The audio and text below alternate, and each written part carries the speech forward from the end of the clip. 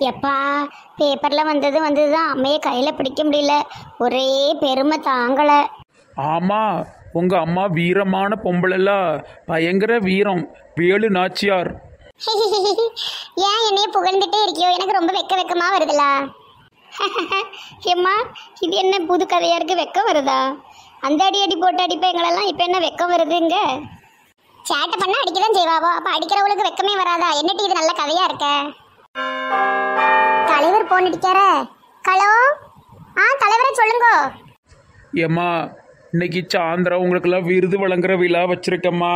நெய் அதுக்கப்புறம் இளிச்சக்காமாவா நெட்டவெளி மூணு பேரும் நல்ல ரெடியாகி வந்துருங்கண்ணம்மா. இன்னைக்கு உங்களுக்கு மூணு பேருக்கு சாயந்தரம் விருது கொடுக்கணும். ஐயா அப்படியா? எம்மா என்ன சந்தோஷமா இருக்கு? சரி தலைவரே சல்லி தலைவரே.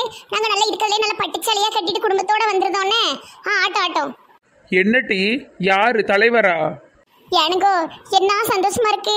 சும்மா சொல்லுதாரு தான் நினைச்சு உண்மையிலே ஏற்பாடு பண்ணிட்டாராம் இன்னைக்கு சாயந்தரம் விருது கொடுக்க போறாவளா எங்க மூணு பேருக்கு? எனக்கு முனியம்மாவுக்கு நெட்டவெளிக்கு. அதனால கிளம்பி வந்துடுங்கன்னு இருக்காவோ எப்பா இன்னைக்கு நம்ம கொடுப்பாவோ? சாலி சாலி சாலி. எம்மா நீ அந்த விருது என்னம்மா பண்ணுவ? அதே வீட்டு ஜோகேஸ்ல வைக்கணும். கேட்டு கட்டி ஜோகேஸ்ல வைக்கணும் ஜோகேஸ்.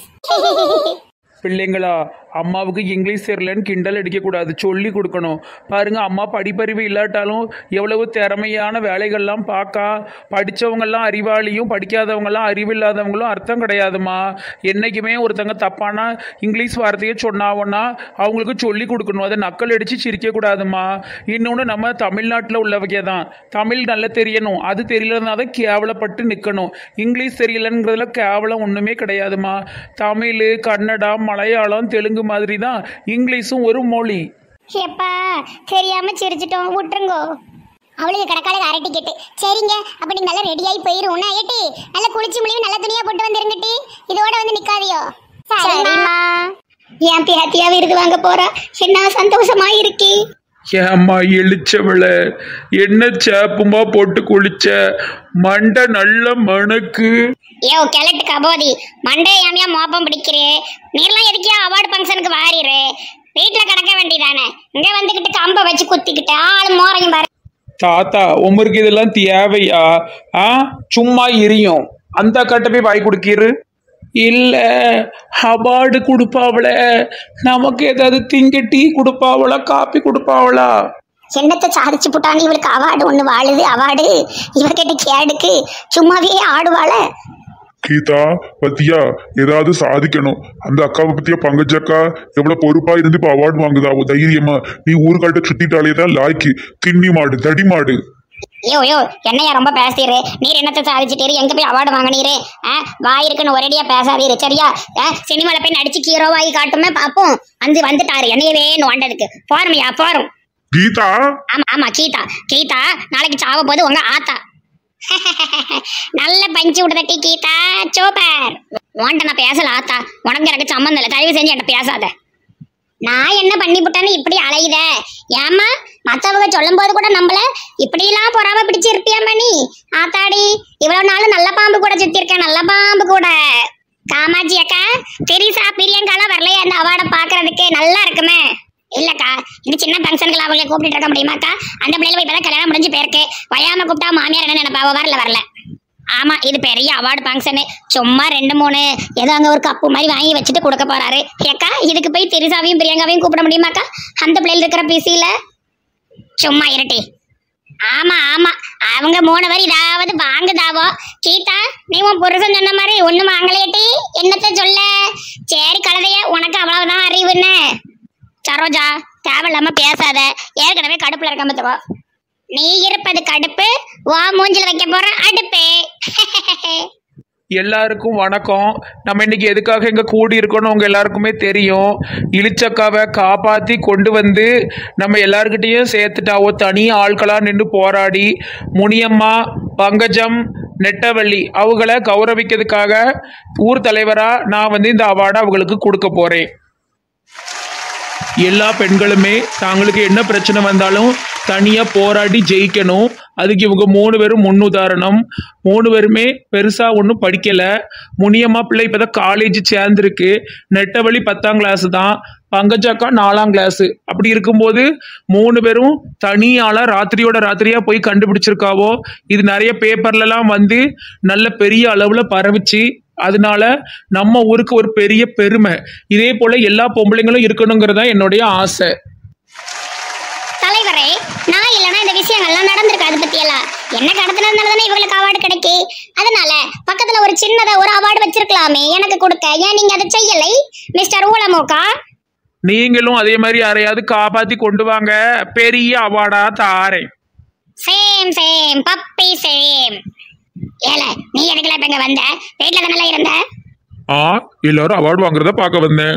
ஏல இது என்ன பெரிய அவார்டால சும்மா ஏதோ கொடுக்கணுமேனு கொடுக்கு. நீ எல்லாம் வரணுமா? யாராவது வந்திருக்காவளால உன்னை மாதிரி ஆம்பளை பிள்ளைல மதர் மம்மி உங்களுக்கு பின்னாடி ஃபுல்லா ஆம்பளையால் தான். தெரியுமா? ஏல அது அவார்டு வாங்க போறவங்க வீட்ல உள்ள ஆள் இல்ல நம்ம வீட்லயே அவார்டு வாங்குதாவோ? ஏன் பிள்ளைங்க வந்த? நம்ம அப்பா தானே கொடுக்காவோ? அதான் வந்தேன் எ- என்ன காமாட்சி அக்கா? ஊர்ல ஒரு ஃபங்க்ஷன்னா எல்லாரும் வந்து உட்கார தானே செய்வாவோ? அதான் அந்த பையன் வந்து உட்கார்ந்துருக்கான். எதுக்கு ரொம்ப மூஞ்ச அசிங்கமா வைக்கையும் கடுகடும் இருக்காதியோக்கா. நல்ல ஜாலியா சந்தோஷமா இருங்க. வயசாக ஆக நம்ம மூஞ்சுக்கெல்லாம் அசிங்கமா தான் ஆகும். நம்ம இன்னும் கன்றாவியே வைக்கும் போது மனசம் பார்க்க முடியாத அளவு ஆயிருங்க. நல்லா சிரிச்ச முகமா சந்தோஷமா இருங்க. இது ஒண்ணு பாசை முதல் விருதை நம்ம முனியம்மாவுக்கு கொடுக்க போகிறோம் தாய்க்காக எந்த எல்லைக்குனாலும் போய் தாயை தேடி கொண்டு வரவேன்னு சொன்ன இந்த முனிய மாப்பிள்ளைக்கு இந்த அவார்டு கொடுக்க நான் ரொம்ப பெருமைப்படுறேன். தாயை விட சிறந்த சக்தி இந்த உலகத்தில் எதுவுமே இல்லை. அதே போல் ஒரு பிள்ளையை விட மிகுந்த பாசம் வைக்க இந்த உலகத்தில் ஒரு தாய்க்கு யாருமே கிடைக்க மாட்டாவோ? இந்தாங்கம்மா முனியம்மா இந்த அவார்டை நீ சந்தோஷமா வாங்கிக்கோ. சரோஜா அழுவாத. சந்தோஷமா இருக்கணும். அழுவாதட்டி சரி ஓட்டப்பல் தாத்தா. அடுத்ததா நான் இந்த அவார்டை பங்கஜத்துக்கு கொடுக்க ரொம்ப பெருமைப்படுறேன். கொஞ்சம் கூட சுயநலம் இல்லாம அடுத்த பிள்ளைக்காக தாயை தேடி அலையுதேங்கிறதுக்காக தாம் பிள்ளைங்களை தாம் புருஷனை பத்தி கவலைப்படாம ராத்திரியோட ராத்திரியா அலைஞ்சு திரிஞ்சு தன்னோட உயிரை பணயம் வச்சு கண்டுபிடிச்சு கொடுத்தாங்க சரோஜாவை. அதனால பங்கஜத்துக்கு இந்த அவார்டு கொடுக்க நான் ரொம்ப பெருமைப்படுறேன். என்ன கேட்டால் எல்லா பெண்களுமே பங்கஜம் மாதிரி தான் இருக்கணும். கொஞ்சம் கூட சுயநலம் இல்லாமல் அடுத்தவங்களுக்காக உதவி பண்ணுற இந்த மனம் எத்தனை பெண்களுக்கு இருக்குன்னு எனக்கு தெரியலை. பங்கஜம் இந்த அம்மா இந்த அவார்டை கொடுக்கறதுல நான் ரொம்ப பெருமைப்படுறேன். எல்லாருக்கும் வணக்கம். நான் அப்படி பெருசா என்ன பண்ணேன்னு எனக்கு தெரியல அவார்டு கொடுக்குற அளவுக்கு. ஒரு தாயா ஒரு நல்ல ஒரு மனுஷியாக தான் நான் அந்த வேலையை பண்ணினேன். இதுக்கெல்லாம் அவார்டு கொடுக்கணும்னு அவசியம் இல்லை. எல்லாருமே இப்படி தான் இருக்கணும். மக்கள்னாலே நம்ம அடுத்தவங்களுக்கு உதவி செஞ்சுக்கிட்டு இருந்தாதான் நமக்கு நாளைக்கு ஒரு உதவினா ஒருத்தங்க வருவாங்க. மனசாட்சியோட இருக்கணும் அவ்வளவுதான். மனசாட்சியோட இருக்கிறதுக்கெல்லாம் அவார்டு கொடுக்கணுங்கிற அளவுக்கு இந்த காலம் மாறி போச்சு. பரவாயில்ல இந்த அவார்டு கொடுக்கறது மூலம் மற்றவங்களும் நம்மளும் இப்படி இருக்கணும்னு நினைப்பாவலாம் அதுவே எனக்கு சந்தோஷம். அவார்டு வாங்குறது எனக்கு ரொம்ப ரொம்ப சந்தோஷம். எதுக்காக இப்படி சொல்லுதேன்னா பெரிய பெரிய அளவுல சாதிச்ச பெண்களுக்கு தான் அவார்டு கொடுப்பாவோ? நான் வந்து ஒரு சாதாரண கடமையை தான் செஞ்சேன். அவார்டு வாங்குறது எனக்கு ரொம்ப ரொம்ப சந்தோஷம்.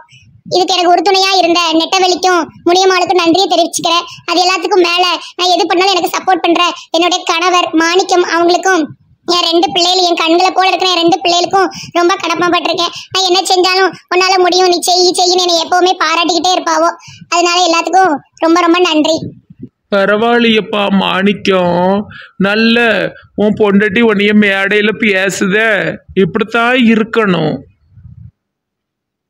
அடுத்ததா நம்ம ஊருடைய கதாநாயகி.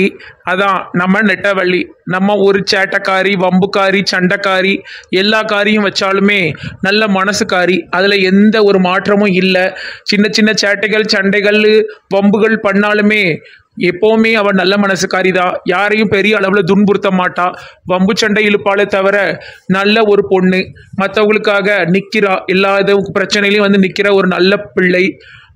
இந்த அவார்டை நெட்டவள்ளிக்கிறா நான் கொடுக்கறதுல ரொம்ப சந்தோஷப்படுறேன். நெட்டவள்ளி இந்தாம்மா உன்னுடைய முதல் அவார்டு. இந்த அவார்டை வாங்க ரொம்ப சந்தோஷமா இருக்கி. நான் பண்ண சாதனைக்கும் பெருமைக்கும் பார்த்தீங்கன்னா இதை விட பெருசாக தான் கொடுக்கணும். ஒரு ரெண்டு கிலோ தங்கத்தில் அது அவார்டு கொடுப்பாவோன்னு பார்த்தேன். சரி பரவாயில்ல நம்ம தலைவரால் முடிஞ்சது. இருந்தாலும் நான் என்னைய பற்றி நானே பெருமையாக பேசிக்கக்கூடாது. நான் நம்ம ஊர்லேயே ஒரு முக்கியமான ஆள். நல்லவள் வல்லவள் நாளும் தெரிஞ்சவள் திறமையானவள் கூட. நம்மளுடைய ஊரில் பெண்களே அதிகமான படிப்பு பத்தாம் கிளாஸ் வரைக்கும் படிச்சவனா. அதனால என்னமோ இலவசமாக எல்லாருக்கும் டீசன் எடுக்கேன். எனக்கு இந்த அவார்டெல்லாம் ஒரு நாலு வருஷத்துக்கு முன்னாடியே கொடுக்கணும். சரி நம்ம ஊர் காரியவர்களுக்குலாம் இப்போ தான் புரிஞ்சிருக்கு. இந்த அவார்டை நம்ம சந்தோஷமாக நான் ஏற்றுக்கிறேன் அப்புறம் வந்து எனக்கு சா சாதனை பண்ணுறது மற்றவங்களுக்கு உதவி பண்ணுறதெல்லாம் கை வந்த கலை. அதை நான் தினமும் பண்ணிக்கிட்டே தான் இருப்பேன். அது இந்த ஒரு விஷயம் தான் வெளியே தெரியுற மாதிரி நடந்திருக்கு. அப்புறம் வேற என்ன சொல்ல? அவார்டு வாங்குறதுக்கு முழுக்க முழுக்க நான் தான் காரணம். ஏன்னு பார்த்தீங்கன்னா பங்கச்சக்கா சொன்ன மாதிரி அவங்க மாப்பிள்ளை சப்போர்ட் பண்ணாவோ? நான் என் மாப்பிள்ளைக்கு நான் வந்ததும் தெரியாது போனதும் தெரியாது. அவங்க சித்தி சித்தப்பா கூட கடந்து அவருக்கு அங்கே உட்காந்து கதை பேசுறதுக்கு நேரம் சரியாக இருந்ததுனால இந்த அவார்டு முழுக்க முழுக்க என்னுடைய சொந்த உழைப்பில் கிடைத்தது என்பதை பெருமையுடன் கூறிக்கொள்கின்றேன். நன்றி வணக்கம்.